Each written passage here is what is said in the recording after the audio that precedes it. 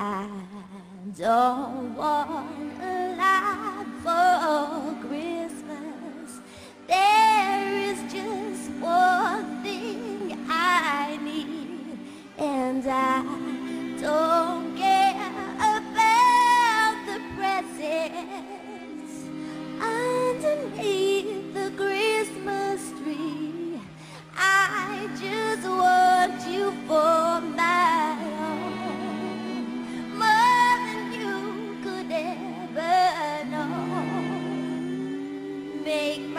sky.